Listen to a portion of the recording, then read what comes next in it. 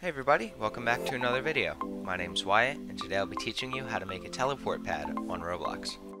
Okay, so before I show you how to make this script, I just want to show you how it works. So, if we just go into the game real quick, as you'll see, we'll just load right in, and if we walk right over to this teleport pad, it teleports us to the other one, and then if we walk on this one, it brings us back. Okay, so now that you know what the script does, I want to show you how to actually make it. So the first thing we want to do is actually create our teleport pads. So I'm just going to create a new part and anchor it. And I'll make it blue just to make it look kind of cool. And I'll scale it down just like that. And so I'll just make it a square. We can just change the size. We'll make it 4x4. Now I'll just duplicate this and put another one over here. And maybe I'll just make this one red so we can distinguish them from each other.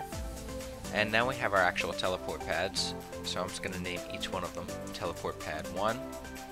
And this one I'll name teleport pad 2. And now before we start scripting, I just want to explain something. So the way this script actually works is it has a 3 second cooldown and each pad has its own script and it needs to be able to tell if the player just teleported within 3 seconds. So we need to create a variable and put that inside of the player's character. So the way I'm going to do that is add a plus right here, and I'm just going to say bool value, and we're going to name this currently teleporting. So after a player steps on the pad, we're going to set that to fall or true, and then after three seconds, we'll set it to false so that they can teleport again. And I'm actually just going to put that under starter character scripts so it goes right in the character. So now that we have this done, we can actually create the script. So I'll just click plus right here and I'll create a regular script. And I'm just going to name this teleport script. Right there. And now we can actually get into coding. So the first thing that we want to do is actually define where the second pad is. The pad that we want to teleport the player to when they step on it, we want to tell the code what that is. So if we just say local and then pad 2 equals. And since we're right now we're in this one we want to get a reference to this. So we'll say game.workspace.teleportpad2 equals game.workspace.teleportpad2 and now we actually have the object that we want to teleport the player to. So now we actually need to get when the player touches the part. So if we just say script.parent which is teleport pad 1 dot touched. And then we'll connect that to a function. Just like that. And then inside of that function we're going to get the part that touches so touch part. So in this case it would be like a hand a leg or any part inside of the player's character. And we'll pre press enter and it'll create the end for us. And now we just need to check to make sure it's a player and to make sure that they haven't teleported within the last three seconds. So we'll say if touch part so if it exists, and touchPart.parent, which checks to see if it's inside of a model, and touchPart.parent.humanoid, and this actually just does the check to see if it's actually player, and touchPart.parent, which gets the player's character, since we already know it's player, dot currently teleporting, which is that value we had in here earlier, is equal to false, right? Because we just want to make sure that they haven't teleported within the past three seconds. So we have that. So now we know it's player, they're ready to teleport. Now we actually need to do the teleporting.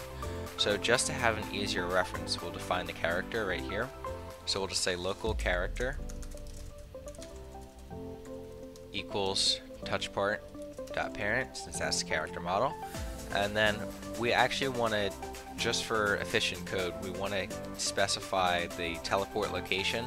So the C frame of this right here, plus a little bit on the Y axis, so that the player doesn't get stuck inside the pad when we teleport them. So we'll just say local teleport location equals cframe.new and then we just need to give the coordinates of this and a little bit more on the y. So we'll say pad2 dot cframe.x I'll say pad2 dot cframe dot y plus 5 that's a little offset and then pad2 dot cframe dot z now we actually have the location of this, right, so that we can teleport the player here, no matter if the pad's here, here, here, in the sky, wherever it is. And now we have that, so we actually just need to set the player's location, the location of their primary part, to that teleport location. So we're just going to say character, colon, set primary part C frame, and then teleport location. Now we're actually going to get this value inside of the character.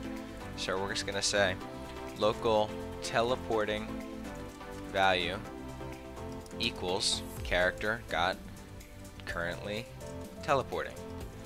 And I'll just show you what that looks like in the game. If we go in, you'll see if we just go right under workspace and then we just select my character, it'll say right here we have the value of currently teleporting. So this box, once if they teleported in the past three seconds, that'll be ticked to true so that they won't teleport again.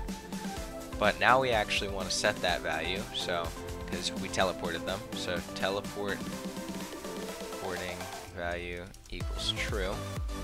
And now we're going to wait three seconds because that's our offset in between teleports.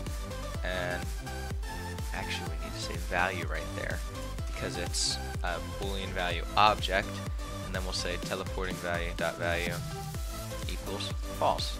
And I just realized we do have a small mistake in our code. Right here we say if touch part dot parent dot currently teleporting since it's a bool value as I was saying before we just need to add dot value right here okay and then we also just have to say currently instead of current that was my bad. And then if we go into the game you'll see right here all we have to do is wait for it to load and then we're just going to walk up to this blue pad. And there we go it teleports us to the red pad. Now the reason this red pad doesn't teleport us back yet is because well first of all it hasn't been three seconds and second of all we don't even have a script in there yet. So it's actually really easy to duplicate the script we only have to change one thing when we do. So we'll just press copy? Right on this. Right click copy and then teleport pad 2 we'll paste that into. And now we're just going to say instead of pad2 equals game.workspace.pad2, we want to say it equals pad1. So game.workspace.pad1. And if we go in, you'll see, all we have to do is wait for it, and if we just step on the blue pad, it'll bring us over.